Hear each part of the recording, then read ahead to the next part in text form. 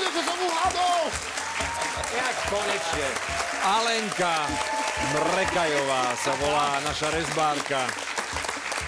Super. Ďakujem. Drevo rezbárka, ale To dobrá, to, to som si myslel, že sme vybrali ťažkú indíciu. No, Alenka, ale dobrí, to len, to len, aby, Nič pre nich nie je ťažké. to len aby už. sa, milí diváci, to len aby sa vedelo, že Marian tam má naložené pod klobúkom. On to len hrá, viete, ten Presne zvyšok. tak. Prečítal Scén- si si správne, scénár. dobre. Som si prečítal scénár a hneď viem. Alenka Mrekajová nie je len taká hociaká rezbárka, je uh, jedna z tých, z 12 rezbárov, ktorí držia rekord. Jedna z tuctu. Alebo, Stuc, stuc. rezbárov máme na Slovensku dosť. Ale je jeden obraz, ktorý bude zapísaný do knihy rekordov na Slovensku. Alenka sa podielala, ale uh, vy povedzte.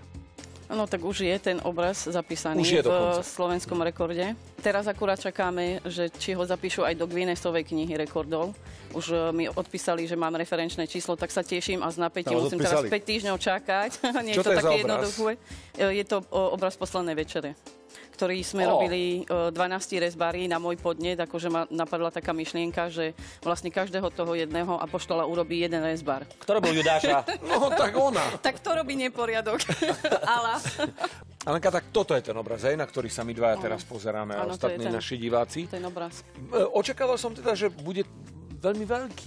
Mohol by byť väčší, ale stačí aj takýto zatiaľ. A tam je 13 postav. Možno bude 12 ďalší. ste to rezali, kto urobil dvoch?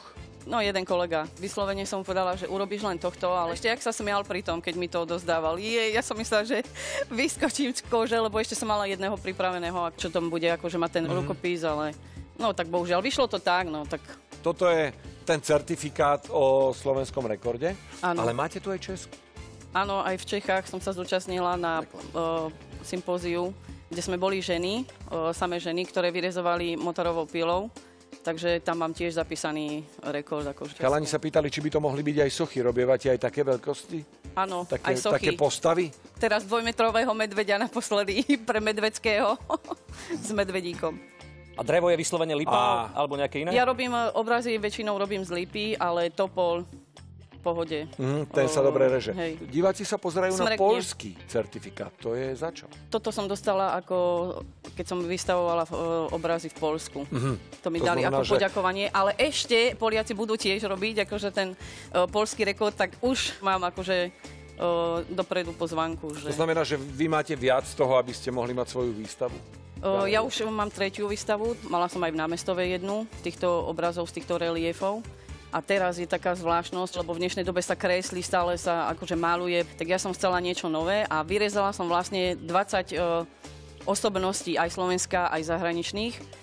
A mala som tam aj Mariana? toto. Áno, ale bohužiaľ ne, nevyšiel čas, takže sa ospravedlňujem.